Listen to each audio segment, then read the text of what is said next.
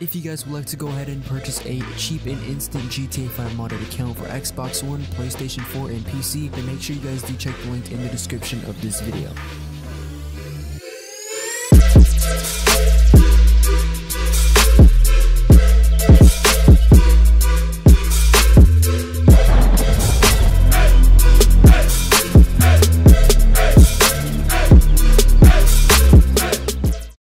Hey guys, what's going on? It's iRyan here and welcome back to my channel and on today's video I'm going to be showing you guys a really epic glitch on how you can get the cop outfit inside of GTA 5 Online after the patch of 1.39. So yeah guys, if you do enjoy this video, please make sure you leave a like and hit subscribe and don't forget, turn on post notifications to get notified whenever another epic glitch is uploaded on this channel.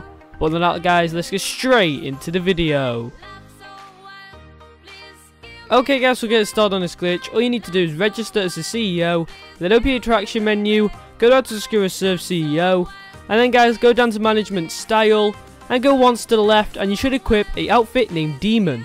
Once you've done all that, exit out of the interaction menu, and then guys all you need to do is open your pause menu, go to online jobs, go down to play jobs, go down to Rockstar created, and then guys just go down until you see Versus, and then scroll down through the Versus until you find Crooked Cop.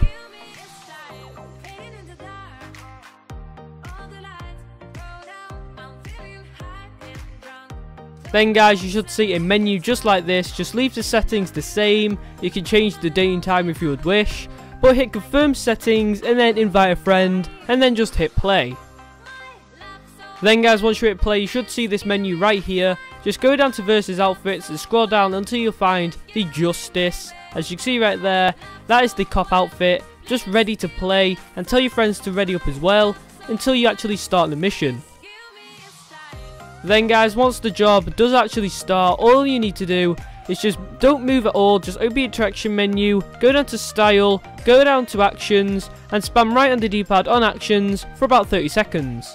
And then guys, once you've done that, all you need to do is go down to player mood and do the exact same thing. Spam right on the D-pad on player mood for about 30 seconds.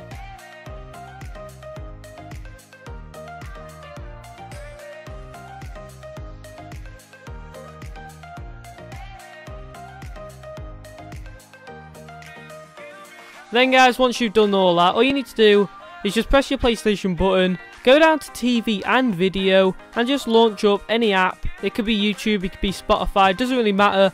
And then guys, you should spend the application, and then guys, all you need to do is exit out of the app and go back to GTA 5, and you should see this alert screen right here.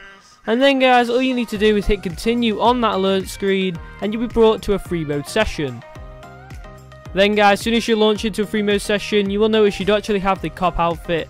Instead, you have the demon outfit, but without the mask. And to actually get the cop outfit back, all you'll need to do is open your interaction menu yet again, go down to Serve CEO, go down to Management, go down to Style, and return the outfit section back to none. And as you can see, you now have the cop outfit in GTA 5 Online.